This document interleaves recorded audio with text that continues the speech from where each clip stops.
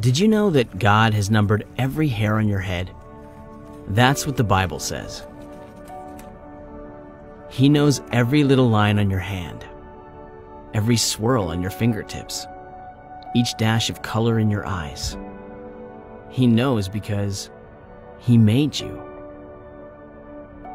Your personality, the curve of your smile, the sound of your laughter.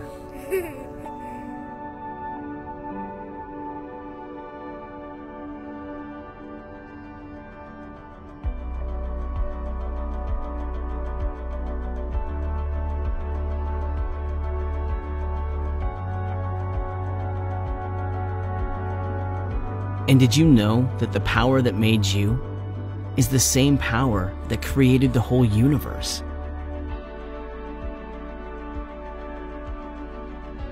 All that is, is because of God. He made it all.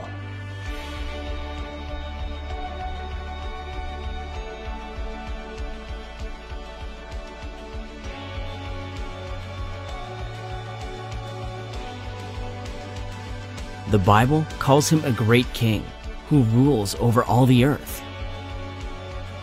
God hung each planet, each star, precisely in its perfect place. He is Lord over the flying meteors and the burning suns and galaxies whirling through the heavens.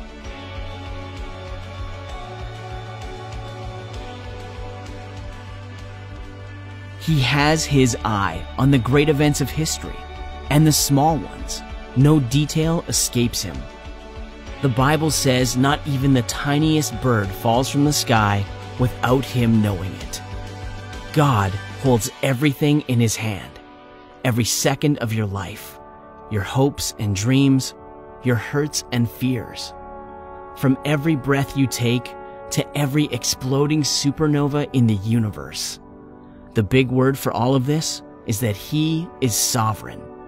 He knows everything and he is in complete control.